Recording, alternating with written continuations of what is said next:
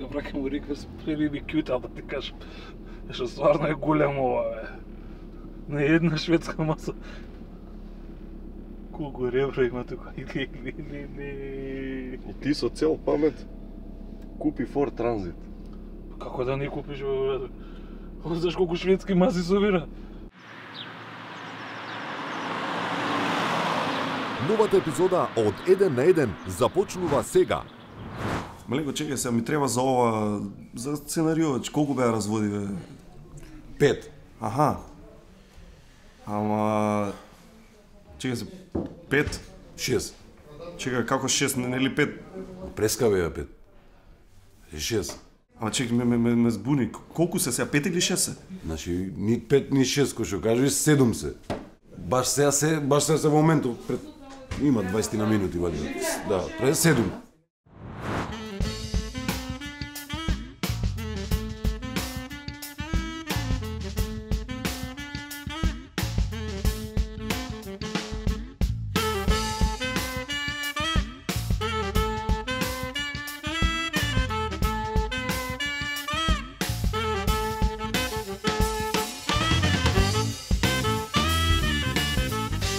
Гледате Еден на еден сезона 8. Вечерашен гостин Александар Маленко.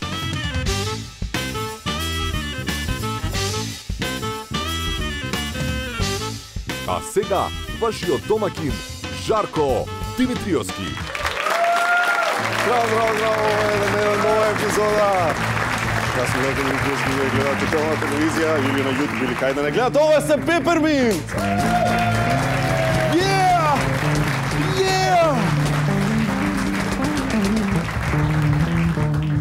Ана, како е? Многу е убаво. Да, според мене многу е тесно, некако панталоните ми се тесни, но... И па после Тоа празниците тоа е. На сите Многу- ни е све тесно. Да, да, да, така е, така. е. Вие одлично изгледате, морам. да- Пофон дали добро изгледаат реално. Така, да, да, баш се убави. Малце им се криви машните. А, добро. Подобро да е крива машната отколку нешто друго. А, имаме подароци за почеток. Ова е нешто ново, до сега не сме го правеле. Подароци веднаш на старт, значи два пати пакет Good Nature чаеви и еден на еден шолја, иста како што ние пиеме цело време. Пакет производи витаминка, две карти за во кино во Синеплекс. Проверете си под вас. Значи под вас. Чек. Сега не знаат дали да аплаудираат или да проверуваат, знаеш. Да, тоа е магијата на телевизијата. Ништо не доби. Браво, ме срце, браво, аплауз за господинот. Инаку, не се работи за господин, се работи за мало дете, за вас пред малите екрани. Гледате 1 на 1 сезона 8. Овозможено од Good Nature, најдоброто од чајникот на природата. Политичарите кај нас се уште актуелни, тие се вечно актуелни. Зафатени се нормално со укашкување на ситуацијата, Сорос, Морос, едно друго. Неодавна бев кај еден од нив во канцеларија, кај овие од попознатија, да не го кажам, и птене брука. Седиме во канцеларија кај него, нешто бев имав работа, требаше да подмачкам нешто, не е битно. Јас се уверив дека тотално ни нема спас луѓе дека треба да се ја здувнеме. Сега ќе ви кажам зашто. Си правиме муавет со типов и му доаѓа секретарката и му вика шефе, шефе, шефе, стигна мејл. И овој знаете што ја рече? Стигна, нека влезе.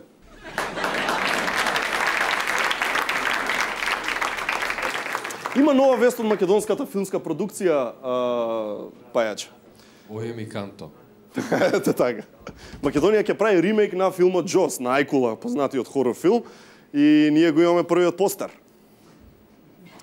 Тоа е првиот постер за филмот Джос. Да.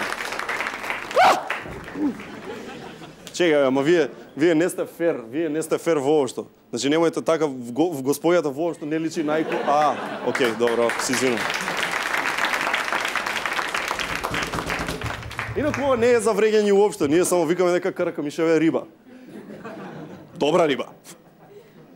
Знаете, ние стати од типот пет работи како да знаеш, не знам што, 10 работи како да увидиш дека не знам што. Ја читам три работи како да препознаете дека бракот ќе заврши со развод. Прва работа беше ако премногу се расправате, сигурно ќе се разведете. Си добро, окей. валја е така. Второ беше ако еден од сопружниците е премногу себичен, сигурно ќе се разведете. има логика, си викам, окей. И трето и најважно, пишуваше 100% ќе се разведете ако еден од вас е Александар Маленко. 100%. 100%. Немој така жаре гости ние, окей. Што е ново на Балканот, не знам дали чувте, ама ако не ми верувате во ова, слободно проверете си. Автобус удрил во куќата на Цеца. Така, е, да, вистина читавме, вистина, автобус возел автобусов низ Белград, излетал од пат, удрил во куќата на Цеца. Пеачката изјави дека сите биле окей, но се многу потресени од настанот, а жими се најмило не сум бил у Белград, изјави Диме Спасов. Еве, Во Белата куќа пушењето е забрането уште од 40-тите инаку. Забраната е прекршена само два пати од тогаш, еднаш во овој случај кога Никсон очигледно му дозволил на Јосип Броз да запали пура бидејќи ало, Тито е во прашање, не сме да каже не. А втор пат, како што сите добро знаете, пушење дозволил и Бил Клинтон.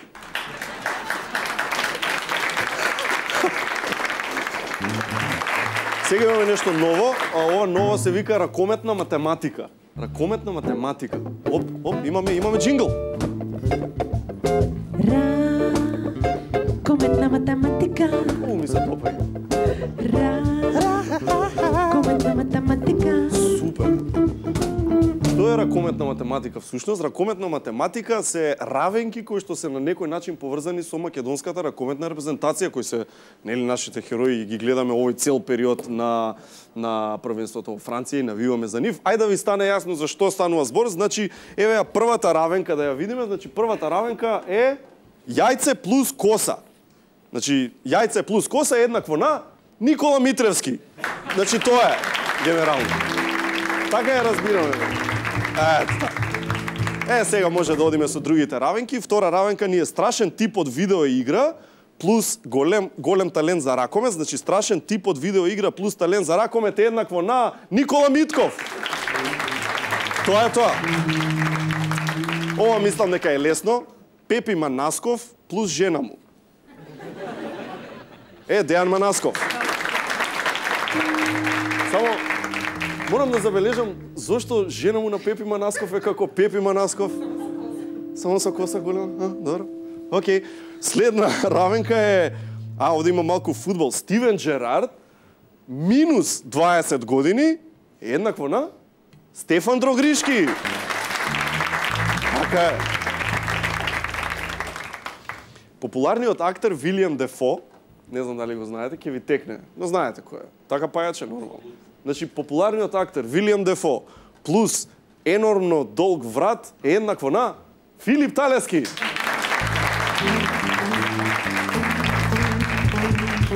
Оде повторно имаме талент за ракомет, значи огромен талент за ракомет. Плюс огромна желба за паѓање без никој да те допре, кој би било тоа? Нормално Филип Миркуловски, нормално. Нормално. Гледа некој Game of Thrones? Така, така, а? Само ти? Ништо. Ја и ти сме изгледа сиротици. Ајде, некој друг, никој не гледа Game of Thrones? Ја и ти ќе играме оваа игра. Ајде, гледај сега. Джофри од Game of Thrones. Ти тегнува? Кинг Джофри. Плюс, уште повеќе портокалово од што има Джофри. Овој кој би бил ракометар? Гоце Георгиевски. Така е. Ево ќе го знаете. Македонска опера и балет. Значи македонска опера и балет плюс две пити бурек, кој е? Столе Стоилов е нормално дека е Столе Стоилов.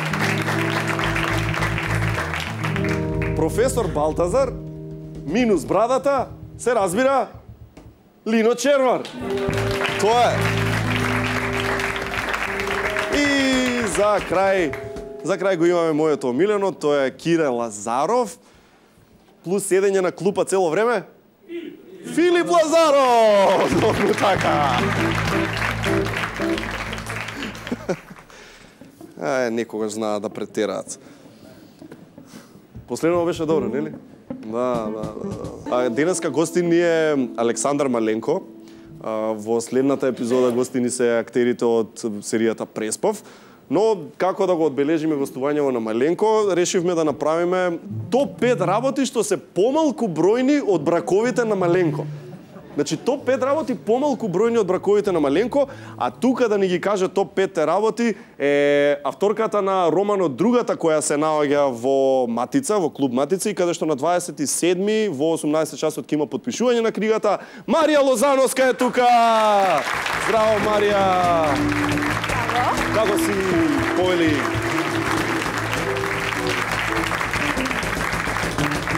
Марија, сестра на Владко Лозановски. Да. Така? Кај е Владко сега? Тука некаде. Тука некаде? Тука некаде. Ха, чекај Владко. Владко. Океј, значи топ 5 работи помалку бројни од браковите на Александар Маленко. Број 5. А, бројот на бракови му е поголем од бројот на важни политички партии во Македонија. Така е. Ова е вистина. Ова е реално вистина. Број 4. Бројот на бракови му е поголем од бројот на македонски мисици што знаат англиски.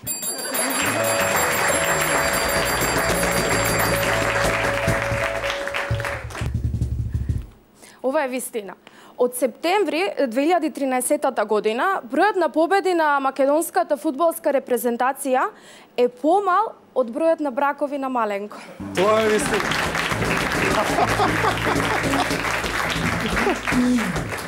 Број 2. Бројот на бракови му е поголем од бројот на снегови што Македонија пат ги има дочекано подготвени. Ау.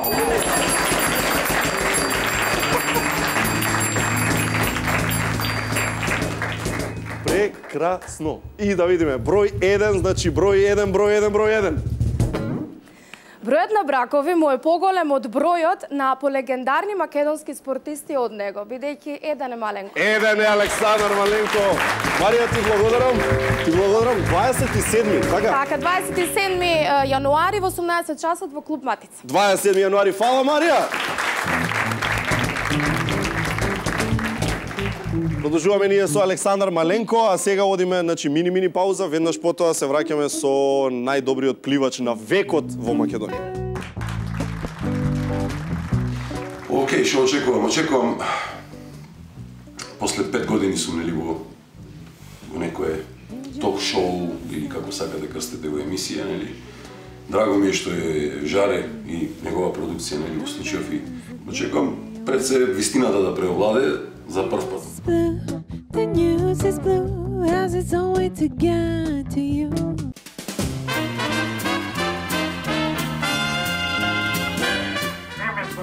Хибискус не е дечко се гледа дека не си магионичар. За да направиш чајот шипка и хибискус, потребна е мала метална шипка. Сега ќе ја ставам оваа шипка во шапката, абра чај дабра, имаме чај од шипка и хибискус. Го подобрува метаболизмот, го зајакнува имунитетот и го намалува високиот крвен притисок. Така да си знаете.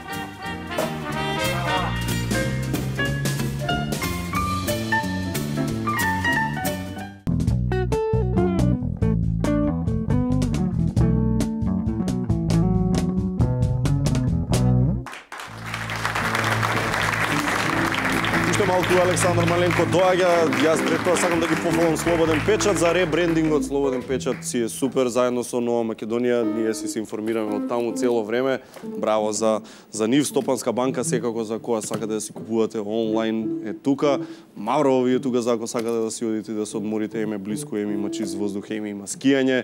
А тука за да ни каже што правела и воедно да рециклираме е вице-премиерот Мешевски.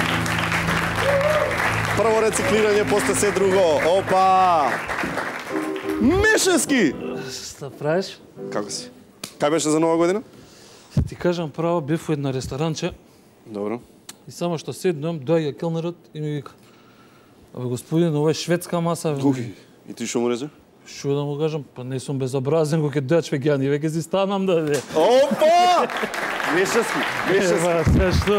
Мешевски. Тоа е, тоа е. Ја бев, ја бев во Мавро, искрено бев во Мавро за нова година и морам да пофалам една работа. А, толку многу снег имаше што моравме да си чистиме хауби за да видиме која ни е колата. Имам и слика да го докажам тоа, ова е мојот автомобил буквално. И значи вака си го пронедов. Пошто сите беа исти, тоа е, мора, мораш прво да подзачистиш, да видиш дали е тоа. И секоја чест Фордот ми се снајде многу добро на минус 25, така да да си знаете која кола и ти да си знаеш која кола Знам. пријател. Ајде, се гледаме. Се гледаме, вице-премиерот има работа.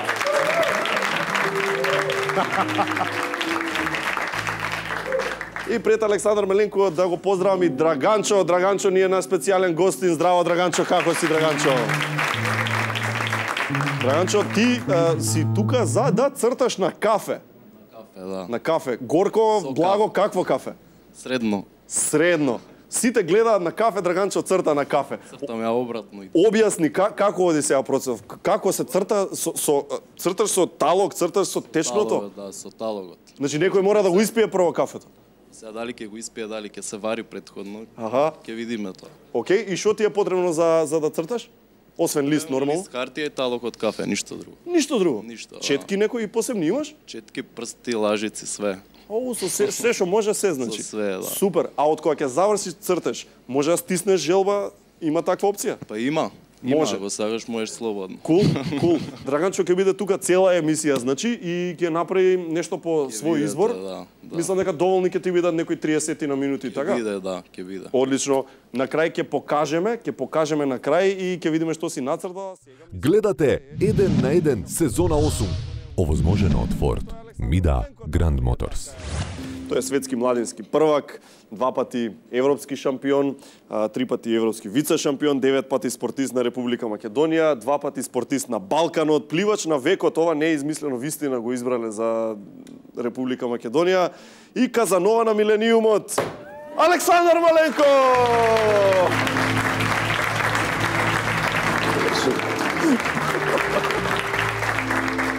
Александар Маленко!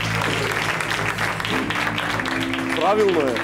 Александар Маленко или Александар Маленко, како е? Види, маленко е струмичкиот дел, тоа макијато кој ќе нарачаш, нели? Маленко. Значи е Маленко. Сите нарачале викат големо, Само, само Александар Маленко. Маленко е, те, така е. Видиш, не те напуштил хуморот. И, нема, с крај да напуштиш хуморот, пет пати ќе умрев. Сега. Е, а едно време Турунджиев, па беше. Види, браво. А, да, само што пак ако име сега со факти и вистина, тоа беше повеќе од твој веќе ги наречам во наводници колеги, мало повеќе шоу него колку што беше вистина. Така, Значи, меѓутоа, со обично живееме со лагите имаме, нели, генерално прифаќаме вистина тешко. си имал ти секогаш шоуменска жичка. Иди шоуменска жичка. Па си имал, браце, како не? Не Иди, да, далеку од тоа дека јас можам да бидам ти или Джамбазов, ако пак ќе речем со фактите, за шоумен, значи ти си еден нов Джамбазов, зборам, пошто години ве машала не ми си ни жене, не ти дојд време, ајде. А, Имаш, е, имаш аце најомилен не знам, трофеј, постигнување, рекорд, медал, како сакаш крсти, ама некој што ти е најомилен, онака најпри срце. Види Република Македонија имаше во 90-тите нели, генерално проблем со пропелер знамево. Јас го викам, значи како пропелер знамево затоа што нели имавме еден период ние ќе наречам нели наше знаме. Така е. Така, тоа е Вергина знамето. И најдраг трофеј ми е прв пат кога Република Македонија доби европски првак Така. со тоа што сум го постигнал, пошто нек како млада држава немавме медаља европска. Така, која и година беше релативно тоа? химнава само по дома ја слушавме, нели на плоштата еднашка. Која година беше тоа? 95 да Женева. 95 и тогаш прв пат стана европски. Европски младински, да. Прв пат, така? 16 и пол години. Ама исто поврзано со Македонија, многу интересно, кај беше во, подсетиме, Олимпијада 96 ли беше? Атланта. Атланта, кога Три букви. косата си ја ишиша со МК, Да, и се така беше? платив 80 долари да ми шишаат, а колегата Кире Филиповски тогаш пливач тој зема тие бои како ги вика од Е. него и му вели многу си скап ти 80 долари го шишаш, јас ќе го фарбам. Значи, Е, значи да им биде јасно и на помладија, значи 96-та Атланта Олимпијада, маленко оди да плива на Олимпијада, летни Да. олимписки игри, Да. и тогаш имаше спор, нели, требаше како да се фиром да пишува Да. едно друго. Да, ние бевме од тој период, благодарение на Олимпискиот комитет тогаш, председателот Тупурковски, успеавме да, се- значи, бидеме ние МКД Меѓутоа, за жал, нели, зборувам на, како ги викаме, на На Телоп. Кајрони, на добро. Кајрон, браво, на Телоп. Смо старава генерација Телоп. Така, така. И одеше фирм. И тоа беше М, К, Д. Вложија жалба, но, нели, трката заврши. Имав таа среќа да твоите колеги од CNN се заинтересираат и направат интервју нели со мене од 13 минути за кое што не Веројатно прв македонец што не добил интервју. Јас бев, јас бев втор македонец, прв македонец беше починатиот амбасадор Стево Црвенковски при нели прием на во Обединетите нации. Али тоа беше 91 и ова беше 96 од било кој граѓаnin на Република Македонија. 96-та ќе те вратам, значи прва Олимпијада Македонија, ти беше прва, после тоа имаш Олимпијада и 2000-та и 2004 Во Атина, да. во Атина, да. Со знамето. Имаше ли шанса да да заминеш пример Како млад, сакам да кажам, на 14 пливаш Охридски маратон. После тоа на 17 години прва Олимпијада. Па зар не ти дојдоа стипендии да ти нудат коледжи, амерички, едно друго? Обично прават така? Тоа почна уште како го викаме ние, го завршуваш осмо во средно училиште прва година, доаѓа во Пливачката федерација и некој на адреса домашна тогаш ке моите родители понуди од Ајова, Универзити Мајами, Беркли, Стенфорд, Едни од најголемите. Да, тие едни од Универзити од Флорида, значи едни од најголемите, да. Ти зошто не оди? Затоа што сакав да живеам тука каде што сум роден и дели сум тој што сум патриот. Кои се рекордиве што до ден денес ти, ти постојат? Има такви? Има многу. Јас немам комплекси, како да речат, јас и никој друг. Не, јас велам за жал. Затоа што 21 година е младинскиот рекорд стар.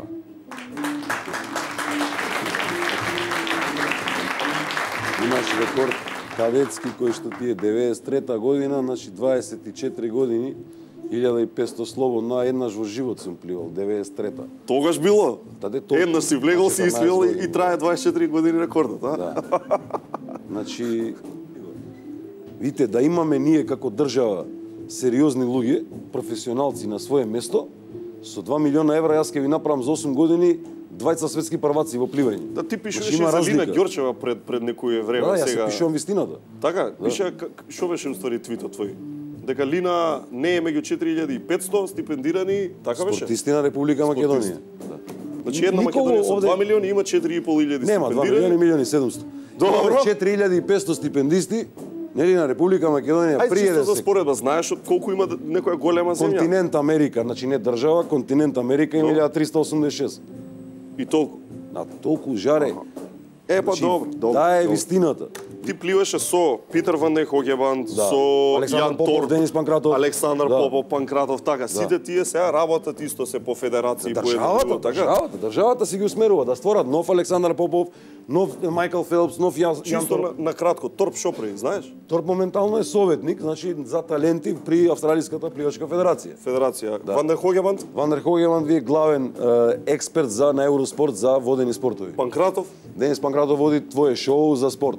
А, така. Александар Попов е директор на македонски, ова на македонски, на руски Па може олимписки на македонски. комитет. А Маленко? Маленко Александар е домакинка економ. Супер. Одлично.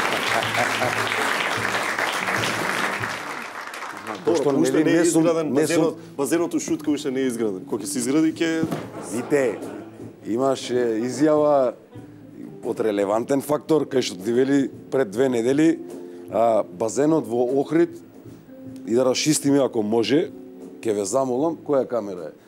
Во спортскиот речник, затворен базен не постои. Постои покриен, затворен е затворен, тоа од. УЈАПа. Значи, покриен базен, затоа што тоа може да биде монтажен и статичен дел. Толку. Ете таа лекција од Маленко. На колку години прекина кариера? 25. 25. Тоа не е малце бе, а се за прекинување кариера? Види, одлучи во тој момент дека е време да се повлечам, затоа што да видиш ти спортист на Балкан и да видиш со 5 евровски медали и со да молиш за 50, за 100 евра, толку можам да кажам. И Имав 2008 година, 12 12 има акутен инфаркт во, во Москва. Па беше долго време и у Русија. Долго време кога колегиве твој збореа дали сум умрен, третиот не знам ова правил, она правил, да, да, одлично. Значи, да, 2006 2005 на крај, 2006 до 2011 февруари. 5-6 години негде. Пет отприлike, години. Да речеме. Добро, Да. што правиш у Русија? И те одбрав да одам таму, да не дојдам веќе во сукоп, она што ме праша зашто прекинав, како прекинав, и еве да не сметам. Добро. Значи си одлучив затоа што нели човек социјален случај е да не ме свати дечки погрешно. И одлучив да прифатам таму да одам кај што ме бараат, знаеш. Значи работеше. Е па нормално што можеш да правиш, извини. Кај работеш? Што правиш? Со пливање или нешто? Не. А, помогна сивито мое и добив одреден одредена можност. Дел од Министерство за надворешни работи на Русија, значи еден посебен дел народна дипломатија. Прифатив, отидов две години завршив народна надворешна. дипломатија и дипломат ли си се? Не, не, не сум, звањето е дел. Значи завршив висока е, дипломатска школа, завршив во Хаг две години. Во Хаг. Да, само не ваму овие ке одат на одмор, него во на универзитет. Значи ти имаш звање народен дипломат. Да, со руското, со рускиот пасош, да. Со руски пасош. Е па не можеш со нашиот извини. Како ми отвара сега теми, а руски пасош па од каде? Абе јас не ти отварам теми. Значи чекај ти Вистината. го, го рипна бугарски пасош директно на руски отиде. Види, Прво така оди бугарски се вади прво. види. Тоа не знам зашо не сум бил овде, тоа изгледа мода е. Имам слушано сега овие пет години. Таму ти викаат имаш да бираш три дозволи во три корпорации да работиш Добро. Директно од школава ти ти дадоа да бираш. од народната дипломатија секторот при меѓуна- Министерство за надворешни работи во Русија. Добро, и што ти вика бирај три корпорации и ти бираш. Од овие три си бираш каде Кај ти сакаш. одиш? Јас отидов во мултигруп конзорциум. Вајда не е мултигруп бугарскиот. Не, вас ви е познат на Македонија, мултигрупови е со шекери со руда, што се, и со македонски бугарски пасоши. Не, значи ова е мулти- мултигруп. мултигруп конзорциум кој функционира, значи Москва, Лондон, Њујорк, Париз и така Што праше таму? Оперативен менаџер си во твојот дел. Опиши ми, опиши ми. Види. Тоа многу ми делува Не, високо се оперативен дека- менаџер. Не, добро, тоа е, значи Chief of Дол- Operations. доволно- Не, не, не, добро, ово е од референтата што се нели нови звања. Менаџер. Менаџер, ја. Имаше песни менаџер, нели. Не, а, да не се шалиме. Значи, доволно кажувам, работев 98 сата неделно. Таа е отприлика таман, така? Си претерал. Па, види, не одиш да се сунчаш таму, пошто е ладно. Добро платено беше у Русија. Релативно добро. Не, релативно добро, 8 просечни плати македонски. 8. Да, не, месечно. Машала, браво. Тоа у Русија предоставува и повеќе од доволно за живот. Па добро, Чекај се, народен дипломат завршил звање у Хаг, а викаш дека ваму си немал, нели, лоша била ситуацијата, па како успеваш да таму се плаќаше школата или не? Видите, таму ми беше мене платено согласно сивите хак. способностите, ми беше платено, значи делумно, односно како го викаат 50-60% од Стипендија. да, од беше покриено значи од страна од руската страна, другите средства сам ги обезбедуваш. На кој начин? Значи среда, четврток, петок, сабота, недела работев шанкер. Во Хаг. Да, да, во Club Plaza од Браво. 7 часот попладне, нели, навечер до наутро, до 5 до 6 додека затворат. Ау, а чекај, искрено да четврток, петок, сабота, недела. По-лесно. Да. Маленко, кога ќарувал жени како медалист, европски, светски првак или како шанкер во Хаг? Зашто видите, че јас не можам да ќарам женска или женската да го ќари да ме ќари мене доколку Добро. тоа не е обострано. Види, мора да признаеме, жена е институција. Добро. Значи, сакал некил колку и да глумиме лудило ние, може да глумиме лудило, сами го сме и да си, да си се лажиме. Меѓу нас вака жената, така жената и жена е институција. Оп, Не сум тука. момент. Молим. Шо? Ало. О, Еј, спасе. жаре, Еј, маленко ли ти е гост? маленко е, да. Сакаш да го чуеш? А са, питај ми го малце. Спасе. Статичен, одличен. Ало, Добре, ќе појде. добро вечер, те прашам нешто. Да? Кога си бил последен пат у Булачани? Булачани. Бу Булачани. Е, мајката. И зашо не се јавуваш више на мајка ми? Е, овој кој е, исконтролирајте го, е. Добар, добар, да. Булачани. Најинтересното доаѓа по рекламите. Може да го изглумиш најлошото пуштање, онака, еве, ја едно ќе направам ти едно. Жена ми ќе се налјути, сега дома ќе речи слабо се пушташ, сакам да те кажам.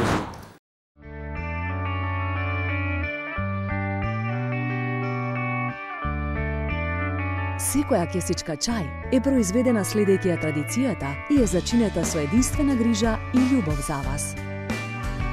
Good Nature – најдоброто чајникот на природата. Алкалоид Скопје.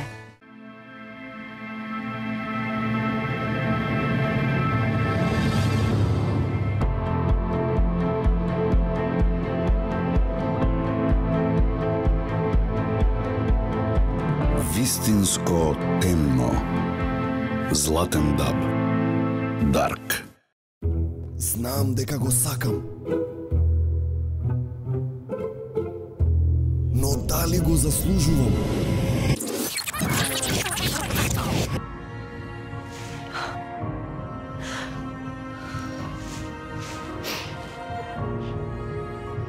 Да Ви го представуваме новиот фокус со ST Line опрема. Возењето кое е неверојатно, речиси дефинитивно го заслужувате.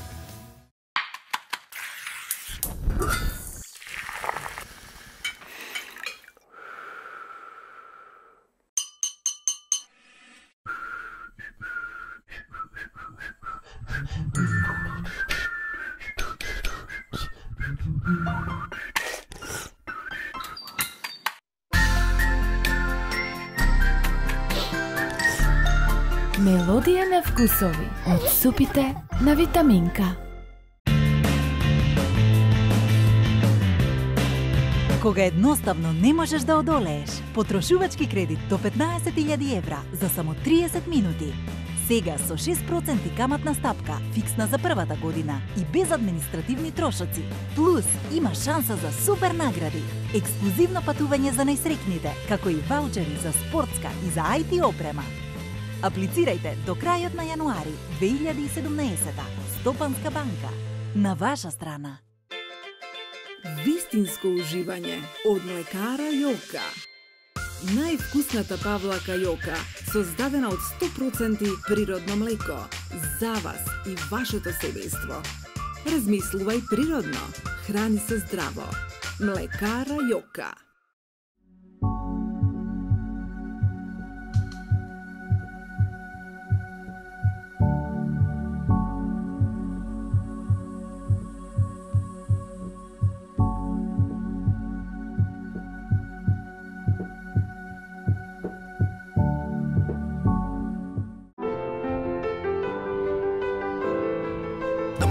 Memories you want to keep, the lighter you need to be. And you, how far would you go? Travel lighter to go further with Be Light by Samsonite. Додека другите се окрива дека така одеднаш преку ноќ се подмладуваат, јас можам да кажам дека моето лице го среди тимот на ординација доктор Анчевски, кој го направи тоа со проверени и најсовремени методи на извонреден начин. Ги освежив устните, дадов волумен каде недостасуваше и го задржав истиот лик, а изгледам свеж и подмладена. Ако сакате да имате здрава и подмладена кожа, имате само еден избор – ординација доктор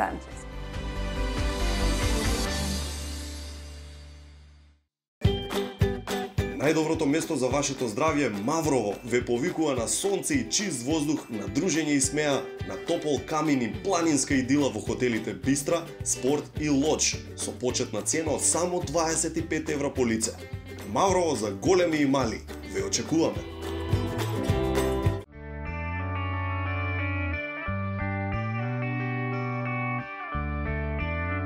Секоја кесичка чај е произведена следејќи ја традицијата и е зачинета со единствена грижа и љубов за вас. Good Nature – најдоброто чајникот на природата. Алкалоид Скопје.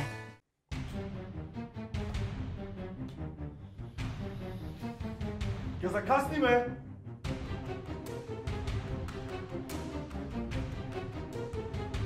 Сигурно ќе закасниме. Ќе закасниме бе. Е готово, нема, е да знаеш дека ќе ни затвора. На, готово. Што ми даш мобилен, бе паричник ми треба, у банка идем. Ова ти е сега и мобилен и паричник и банка и се. Не си чул за M-Banking? Види бе, сега се можеш од мобилен да направиш. Значи да провериш состојба на сметка, да платиш рата за кредит, да пополниш налог, да да да провериш каматни стапки, курсна листа и што уште не. Море модерни времиња, е. Чекај селфи.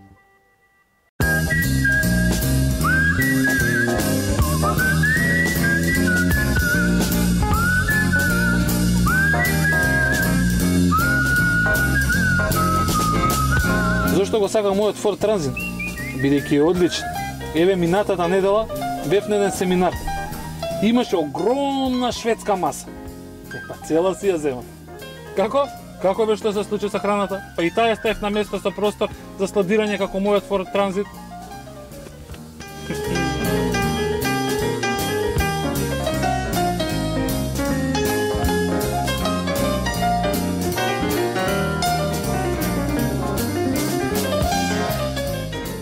Може да го изглумиш најлошото пуштање, онака... Еве, ја едно ќе направам ти едно. Жена ми ќе се налјути, сега дома ќе речи слабо се пушташ, сакам да те гамаш одиме, ја прв ќе видам, е, ја прв ќе скршам мразот. Е, женска, ти падна телефонот. Што викаш вечерва да ти паднат и стандардите?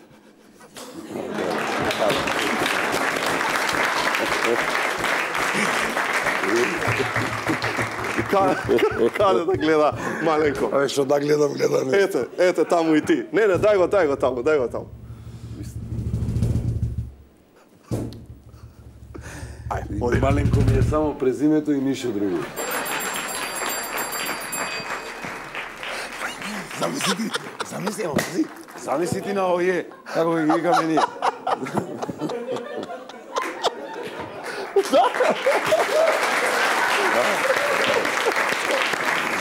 И... Пет деца, пет деца. Е, пет седеше. Значи ти тоа трето дете си го надмашил здраво. Ама јас немам проблем ли- овде, не Зем-. Земаш, па тоа трето дете е едно друго. Види. Проблем е. Прво, прво, значи нема шанси, не можеш да се жалиш кај нас, тоа е проблем. Прво има дискриминација, зашо во слу... јас прашав одреден X министер во таа институција. Добро. Да е тука ќе го посочам, пошто не сум рекла казала, ќе си прекјутам, а ќе кажам институција човек. Добро. И реков вие имате нели закон за трето дете. Јас опет што да? Не, жаре, кратко на твоето не со пет, со три. И велам сега во случајот вие велите мајката зема додаток.Орајт, свеорајт. Добро.Орајт. Ама велам, види, а што правиме ако е татко еден пример, а има а се различни мајки. И сега, не, ама и сега тие така деца се од тој татко и од тие мајки. Ги ги гледаш вака трак трак. Океј. Та, ама децава тие се, така и мене ме, ни Многу дели ме логично. на пола сега на четврт. Тие се децава, да ме од тој татко и те мајки. Ама дали ме разбира? И сега. И го прашам, и тој, ама добро рече, не те разбирам, ќе ме разбиш на крај му елам, затоа ме послушај. И сега во случај природна катастрофа. Сите сме охрид. Така? Океј, јас веслам со децава. Си пливаме во езеро. И само јас и децава остануваме. Така. Скраја да е, така? Аде, не дај Боже, добро, добро, добро. катастрофа, бам. Абе, му елам, како нешто за децава? Ам рече, ки земи држава. Ам татково шо? Живи се децава, му елам од држава? Си ми жив. Значи, кратко и јасно. Гледате еден на еден сезона 8. Овозможено од Стопанска банка. Плаќај онлайн, брзо, лесно и сигурно. Мислиш? Мислам, Да, да, со сопругата сакаме здравие Боже, нели, шесто и седмо. Види. Абе, озбилен си, така? Се шме најозбилен. Значи, сакаме, ние, нели, Доминик или се се сега, и сакаме сестричка здравие, нели, Тоа е многу интересно, имаш само една керка. Керка Лора. Машки Да. се све.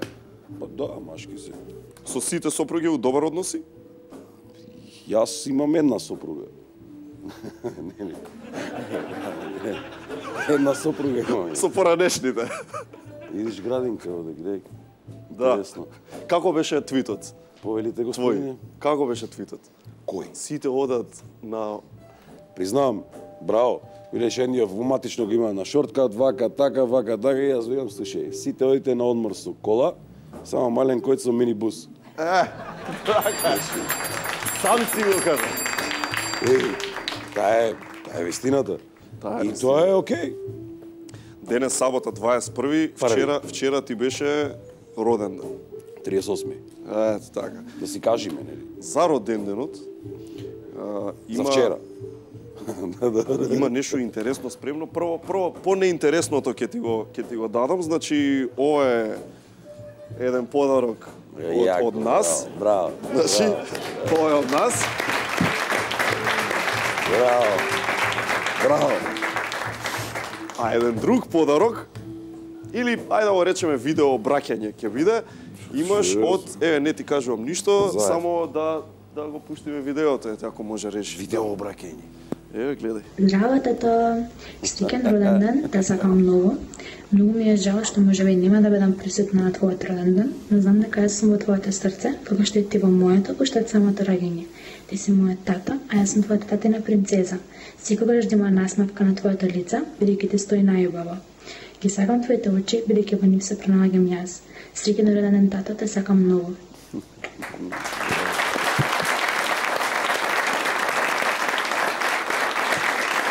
Браво. Значи, си, синхронизирани сте Скопје, страшна работа.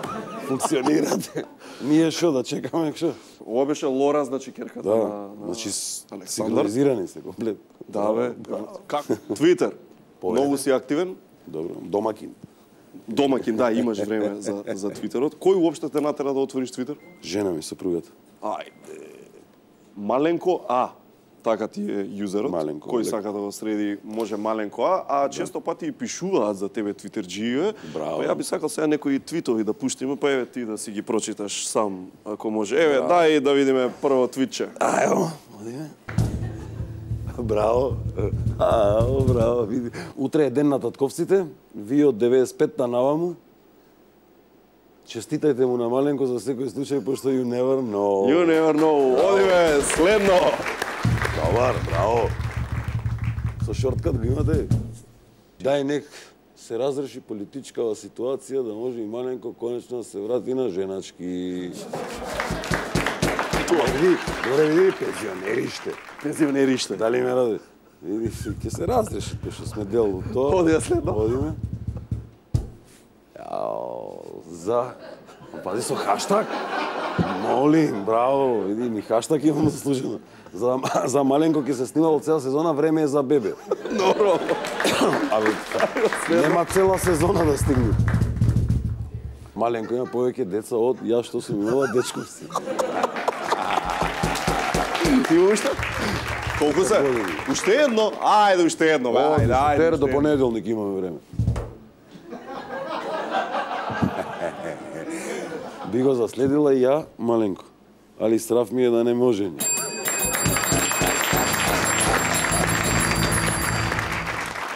Значи, ова е мојот телефон. Ја ќе те прашувам прашања, ти одговарај ми. Ово е мојот? Да, Твитер ти е најкористена апликација?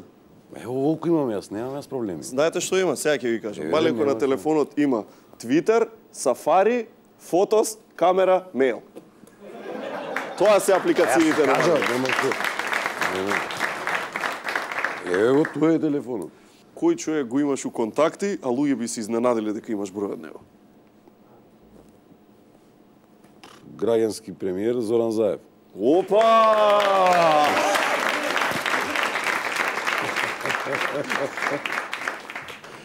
На, на кој број ти е? На П, премиер? Не. А? Не. Или Е, на З? Не, на З. Како Заев ти е пишан или како Зоран Заев? Е, можеш да видиш повеќе. Чејдо? Заев, со големи букви. Да. Здравствено, како стоиш? Прекрасно. Види, имав 2008 година, 12 12 имав акутен ин- инфаркт во, во Москва и фала му на Господа, добар, добро го поднесов, веројатно зашто сум бил, нели? Кај те начека? Спортиста. Види, ситуацијата се деси, значи, наутро, во 9 и нешто, на е, би нарекол колегиум припреми пред кој што ги имавме со своите колеги, со, со собственикот на на Мултигруп, со одредени гости кои што ни беа од Италија, па се деси што се деси. да се одреков, добро, не пушам повеќе од нервоза, стресови 5-6 кути цигари, пушам 2-3. Тоа е приватно, значи да знаете сите. Да, да, е, човек. па добро, толку е. Пушиш И пет цигари, пет кути. пушеф. Мајсторе! Со Ф. Пушеф. Ма во Русија тоа. Да. Ајде, добро, на ладното вајда. Види на ладното, не го осеќаш многу ладното, ама на работата. Пијат у Русија, кој што мислиме? Види, ние имаме друга представа за Русија, за жал. Ние знаеме само за Русија, сме чуле мост. мислиме тоа, е, водка! Знаеш, водка, еј, мед, медвед. пијаници, негово да напоменам проституција, Не така. мафија, ме разбирате, значи тоа зна, тоа ни било презентирано овде. Имаше прилика да запознаеш познат русин? Некој Познат. Добро, ти. Председател на Руска Федерација, ако не е познат, не знам кој. Путинот го запознал?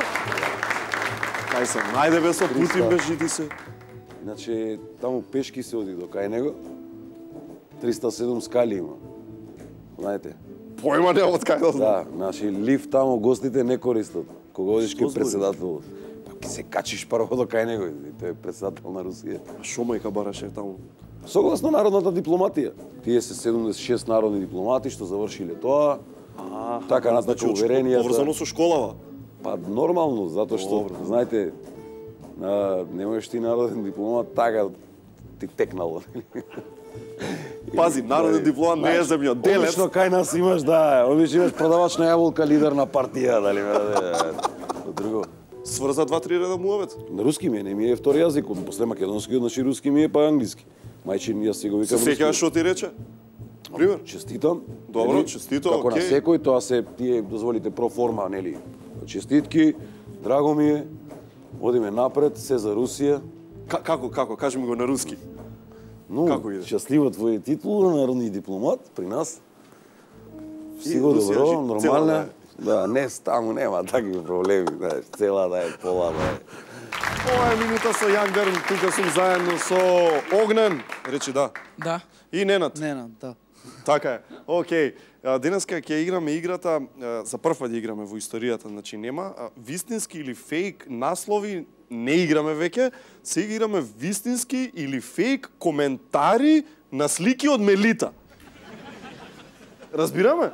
Значи слика од Мелита, ајде на пример, Значи ова е сликата од Мелита, вистински ставена на Facebook. И сега ние ќе пишуваме коментари, а вие треба да кажете дали се вистински стварно на, на сликата или се измислени. Така, ќе почнеме со тебе, ајде да речеме. Да видиме коментар. Тргнете ја куклава да ја видам елкава. Вистински, или фейк? Вистински. Вистински мислиш дека сигурен си, а? Ајде да видиме. Овој коментар е вистински. Браво. Ајде сега да видиме Нена да го видиме. Дајте да видиме коментар. Ке те зенам, извичник. Фейк. Мм, ајде да видиме. Вистински наслов, ова е вистински наслов. Се враќаме пак кај тебе. Да видиме кој коментар ќе ти се падне тебе. Superb MILF. Лажен. Лажен наслов, а? Да. Хм, да видиме. Ова е сепак вистински наслов. Мислам коментар или како и да е. Што е тоа MILF? Не знам. Не, не знам. Океј, одиме на следниот коментар. Мелита, супер си. Секогаш најзгодна во МК да поз. Вистински. Да видиме. Ова е сепак лажен наслов и мислам дека заслужено си победи а, Огнен, ама сепак и двајцата добивате Јагнер. Честито, тоа е тоа. Продолжуваме ние понатаму со Маленко. Еве завршуваме дека полека полека со емисијата, ама освен Александар Маленко, еве го Драганчо пак со кафето. Драганчо И пак жена. и пак жена. Ова за Маленко ли или, Врти, или за кого е сега? Кој ќе ја добие? На микрофон, на Ќе микрофон. се договориме. Дај да видиме да покажеме. Ова е со се. кафе правено. Кафе. Браво. Браво, дечко. Драганчо. Пак жена на сад, ама не, чудна работа. Стисни се една желба за крај на емисијата. Женава? Стисни една желба слободно. А на, на, на шо да На истина? кој дел од овако? Го нема дело за желба, управа си. Овде, Тук, кај сакаш, не да знам. не треби централа да јави, сакај директор. Ете една желба. Ете така. Ете така. Драганчо, Желба, има ли негде да те најдат Facebook, Facebook, нешто На да фан страна, да. Како Да, се вика? Дај нека. Драганчо Божинов. Драганчо Божинов, само тоа на Facebook да пишат и ќе се најдат повеќе вакви вакви твои работи, така? добро. Драганчо, ти благодарам.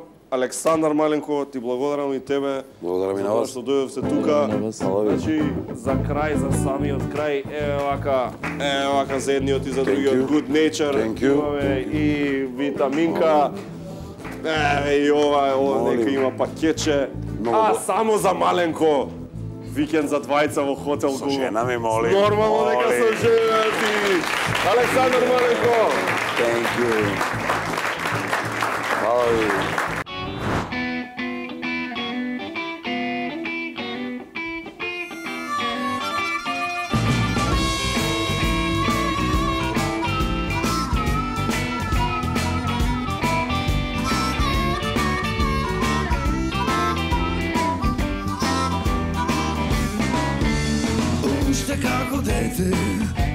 сакав да бегам од овде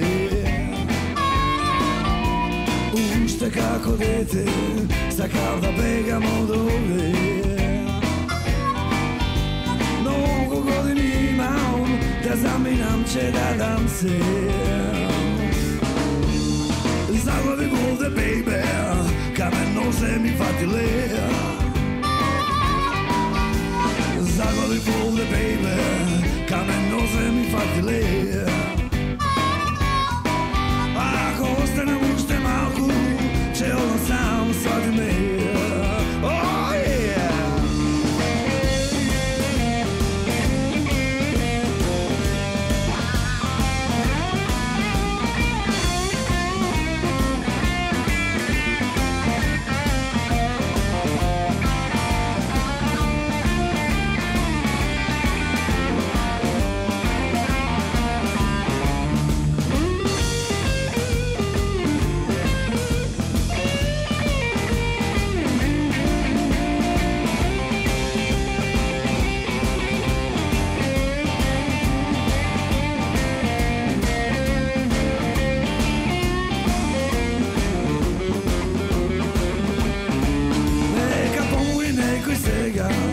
женава моја да свати.